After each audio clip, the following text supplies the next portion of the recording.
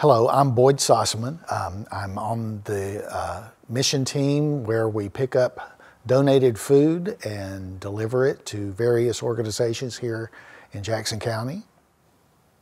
And I'm Lynda Sossamon. Um, Boyd and I work as a team and go um, on Fridays and pick up donated food from Walmart. This is part of a program that was started um, with Mary Brown and with MANNA Food Banks.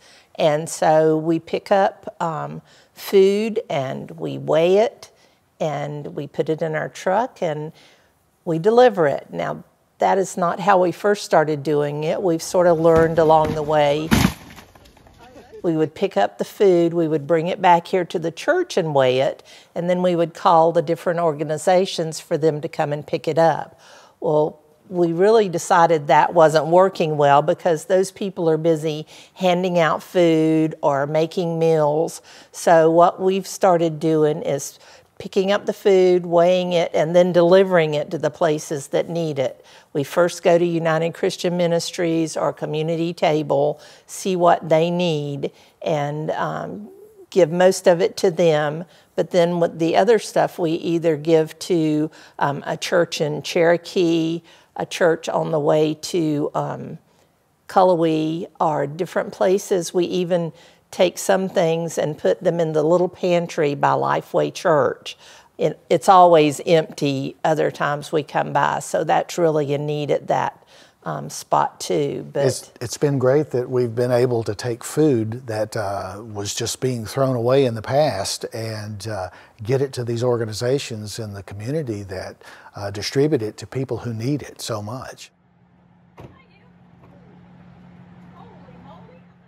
Uh, when we pick up the food, we never know each week what we're going to get, but uh, we may get six, eight boxes, and we've had 30 or more boxes uh, sometimes. So uh, we also got an entire pallet of bananas one time as well. So over a thousand pounds of food in, in one week. We never end up with any leftover that we have to throw away. Even the day that we got over a thousand pounds of food, which included the pallet of bananas, we were able to distribute those to six different places.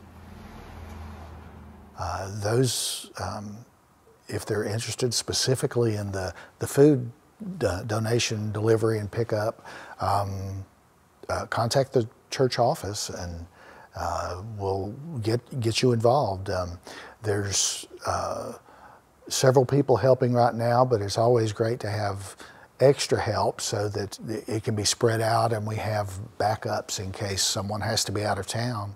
Um, that, that would be great to have uh, people that can step in and do that. One thing we could use uh, some additional help on is uh, just to take uh, uh, some of the, the procedures and methods that we've worked out over the year and, and organize it a little more formally in a, a manual, uh, procedure list, something like that to, uh, to help any new volunteers we may, may get and just to make it a little more organized.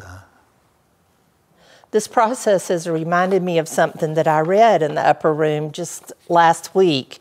And it says, even one generous act can inspire change in our world. And I think that's what we've done. Our church has generously given of our time, and we wanted to. It makes us see um, how lucky we are, and to give um, our time to do something like this, our church is changing the world, even if it is just this one small spot in North Carolina.